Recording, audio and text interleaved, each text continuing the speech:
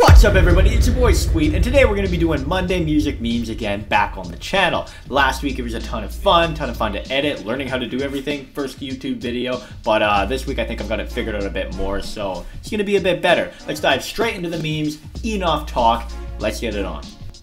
Yeah, it's pretty much just like this. Imagine every single Friday night, you want to go out to the bar, you want to go to the club, you want to go out to uh, the bar, you have to play piano instead. Ah.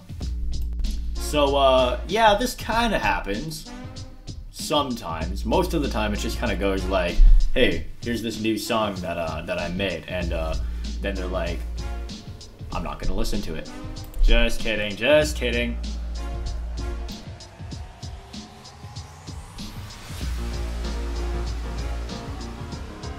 I'm just gonna keep keep scrolling, keep scrolling.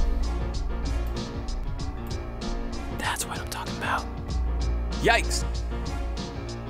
Now, people say ads are targeted, but I don't think ads are targeted because if ads were targeted, they wouldn't put a finance ad on a page meant for music because musicians don't have any money.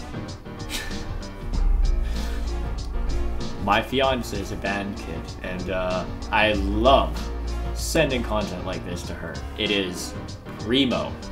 Okay, yeah, this right here actually. Real talk for just a second. I used to play a fair bit of improv piano for a lounge in which I would just kind of play on and people would enjoy their meals, you know, their cocktails. I had a tip jar, I got paid, it was really nice.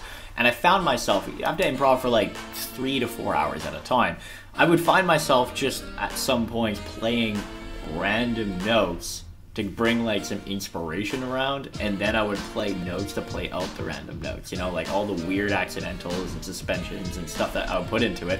I'm just I'm just hitting keys. I'm like oh here's me. I'm just hitting some keys. And then I just turn it into something. And then at the end of the night I have people coming up to me like oh that was absolutely brilliant. I think I recognized that from uh and then they'd say something and then I'm like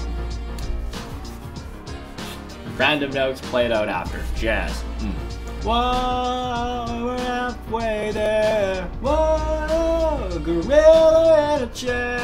Please, no one, and I know there's producers watching this, ever clip that into a remix.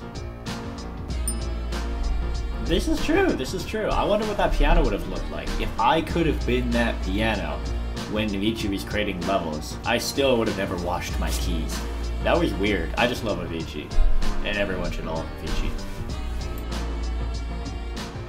You know, every time I see photos with 10 million keyboards inside of them and somebody sitting in a pile of audio equipment and they're like, wow, look at all this equipment I have. I'm like, how much of that do you actually use? Because, like, I don't know about you, but I can only play one piano at a time. So, like, if a MIDI keyboard can turn into any piano you want, what are all the other pianos for?